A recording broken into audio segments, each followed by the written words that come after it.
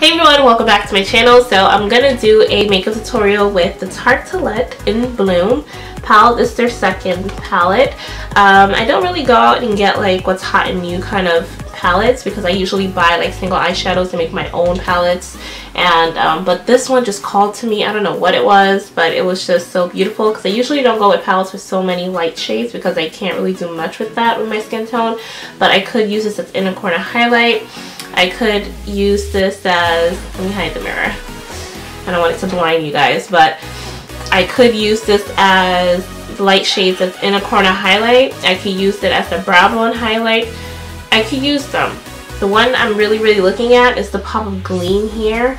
It's just so beautiful all over the lid. I've used this in the crease so many times. It's just a new fave crease transition shade. I haven't really gotten the chance to use Leader as the shadow on my um, by itself. Like I would really love to do like a smoky eye with Leader. That will be amazing.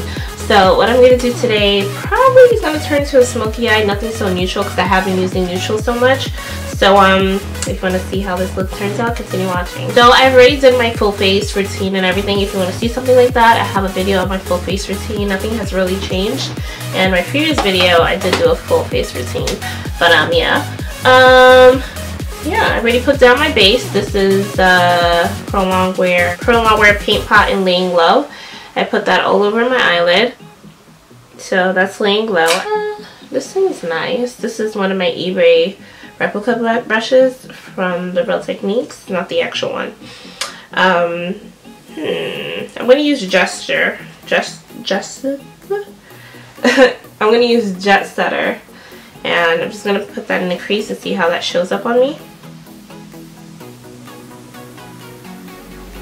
You see a little bit of gunk on my lash line that is like blue from yesterday that doesn't want to come off. But don't worry.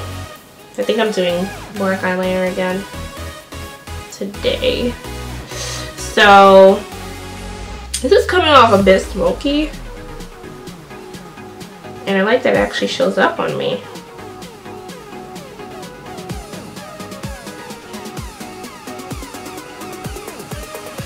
Let me zoom in a little bit. Much better. This is a Sigma E40.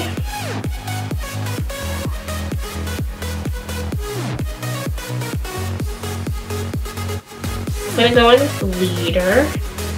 You know what? I'm gonna go with the Rebel in the crease. That's that nice burnt orange tone.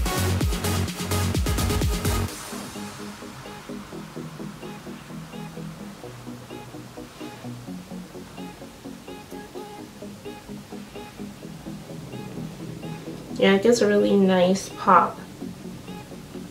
I'm to use Flower Child. It's probably to be a really, really, really, really, really strong brow highlight. Yep, I was right. That's the beauty of blending out. Oh, it's not that bad. Flower Child is this ivory shade right here. And so I pretty much lay down my brow highlight and then I'm going back with this brush. I'm just going to rub off the crease shade a little bit off of it. Blend in between the brow and the crease shades.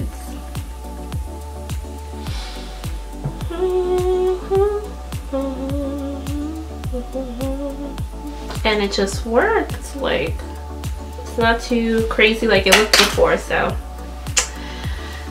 so let's go back into the crease action. What am I going to use next?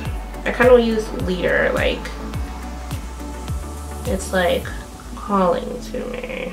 Let's use a pinch of leader, which is this dark, beautiful maroon. Oh, gorgeousness. Alright. I guess we're going for that smoky today, people.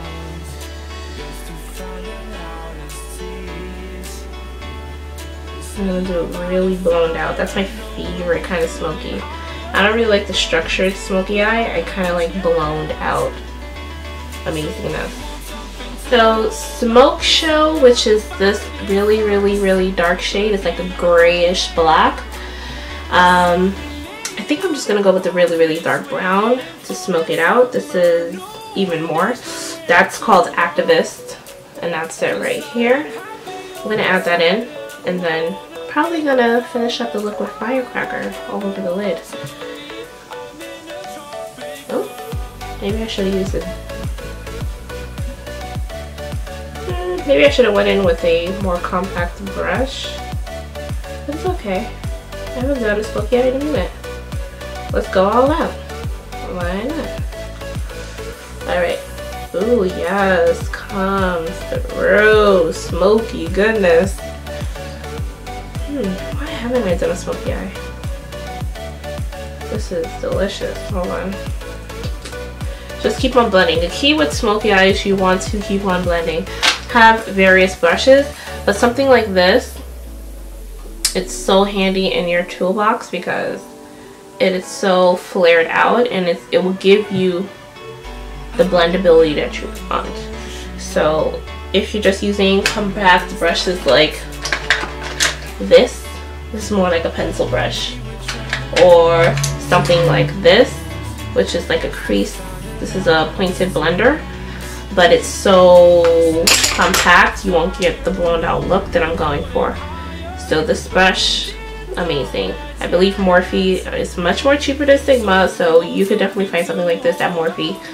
Alright. So you just want to keep on blending. The fun part, you know? I'm going to cut through it. That's the beauty of editing, but you just want to blend until it's fully, fully, fully blended. So yeah, I'm just going to go back with this brush again. I kind of do that. I cheat when I do my makeup because I don't want to wash so much br brushes. But um, use appropriate brushes to make your life easier. But I'm just going to use this and use this beautiful firecracker shade. As you can basically tell, the Tarte symbol is already gone out of this because I have used this um, palette oh so much. So that beautiful gold right here called Firecracker is going to go on my lid. And it's going to be amazing. Oh, just life. Just all the life. Who does not love a gold shimmer on the lid with smoky goodness? Like, are you even living? Are you living for this right now? Because I am in real time. This makes me not want to even do liner. I want to just put like 415 lashes on my eyes. Alright. Then after that, I'm not going to use this to go back and blend again because it has a little bit of dark shadow in it. Or you could try to, you know, clean it off on a tissue and go back in and blend some more. So I am just running this through my crease to blend the lid and the crease shades. Of Rebel, which is that medium red tone shade right here. And I'm going to go back into my crease and help with the blending.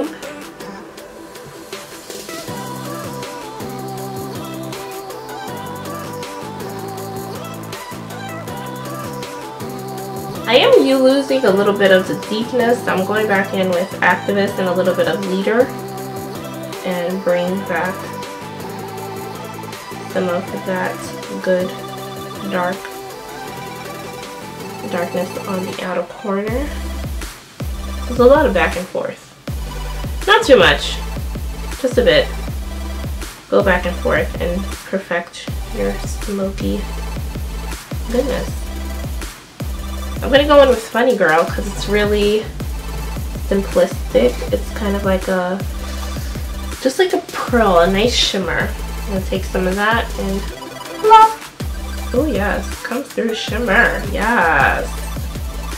Yes. Even if my eye wasn't as glamorous, wasn't as wasn't as gorgeous enough, you need the extra shimmer in the inner corner. You just wanna apply it in a controlled way because sometimes I do this, I would take a shimmer and I'll just like go crazy all over here and it won't look as great unless that's what you're going for. You kind of want to place it in the very inner corner, like this part of the lid, and just press in your inner corner highlight. And you're just gleaming. Like, you didn't even put face highlight on yet, but you're looking amazing.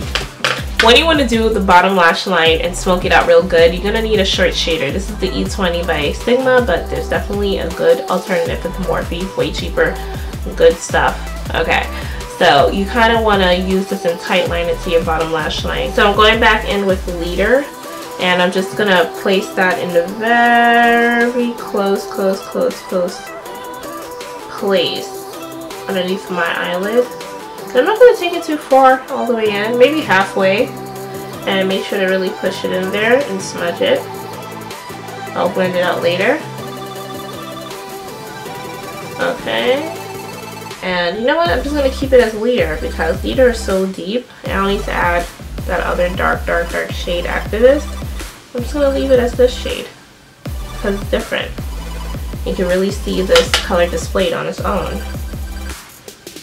Well, it came in deeper. I blended pretty much all the way underneath my eye. These are House of Lashes Iconic. I was going to get say goddesses because I wear them so much. So I have my Iconics on and I just added some Urban Decay Perversion on the bottom lash line to really make it, you know, together with the lashes. And I'm going to add some blush and highlight. Um, I'm going to try out some new blushes that I had for like longest. I think I'm going to add Sketch. We're going to use I'm 509. Hmm.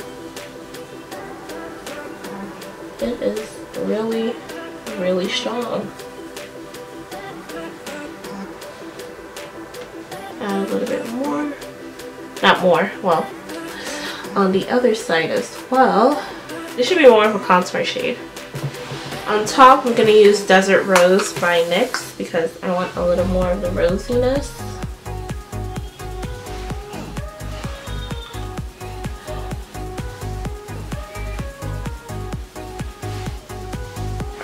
Gotten a chance to really, really play with my ColourPop highlights. I have K-Pop, K-Pop Glo Up, and then Wisp by ColourPop. So I'm going to mix these two and glow from the gods. So I'm going to add glow up first. To really get that on there. Hmm.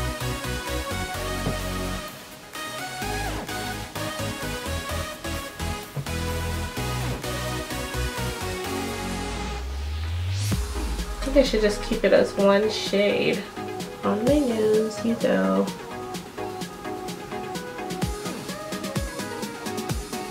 I have a lot on this brush. I'm to add some wisp.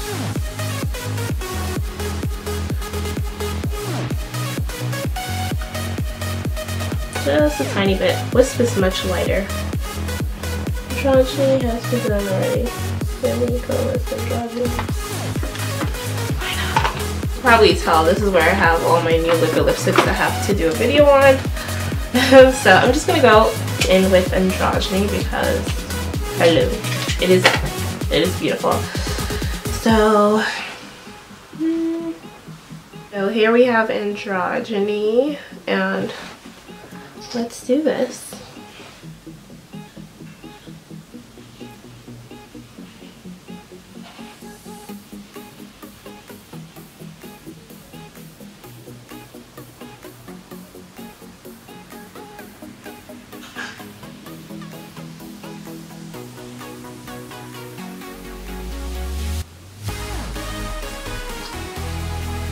So that is it. That is the makeup look. This is androgyny and it's so beautiful. It has to dry down. You can totally see how gorgeous it looks. But yeah, that's it for this makeup look. I hope you guys enjoyed. That palette is the bomb. This lip color is good for me life. If you like this video, be sure to like it, share it. If you haven't, do subscribe. It's free. I do upload. You should check it out. and um, yeah, thank you so much for watching my videos. I appreciate it. And I'll see you in another video. Bye.